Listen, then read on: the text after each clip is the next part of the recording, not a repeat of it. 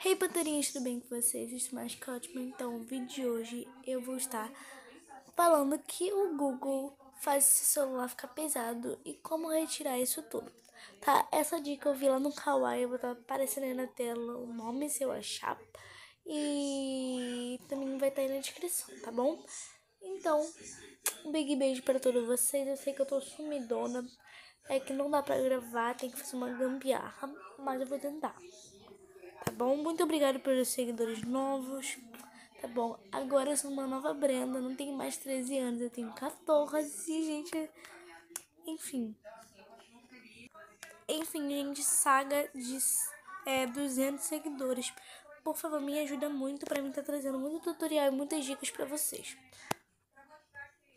Para fazer essa dica, né, de retirar algumas coisas que tem no seu Google, que pega seu celular, você vai precisar do Chrome.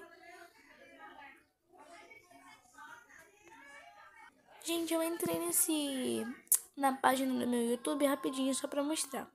Você vai entrar nos três pontinhos, vai aqui na opção configurações.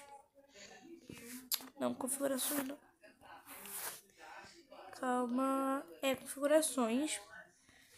Você vai aqui em configurações do site e você vai vai vai calma, calma. Armazenamento de dados, calma que eu não tô achando. Enfim, dados e armazenamento, sei lá, dados. Só vai na opção armazenamento. E, gente, o que você vai fazer agora? Você vai limpar isso que faz o celular ficar pesado ou tudo mais. Por quê? Vai ter coisas aqui, ó, desde que quando você instalou o celular, comprou o celular, vai ter, se for de segunda mão, vai ter desde que a pessoa estava utilizando e tal. E você vai aqui na opção limpar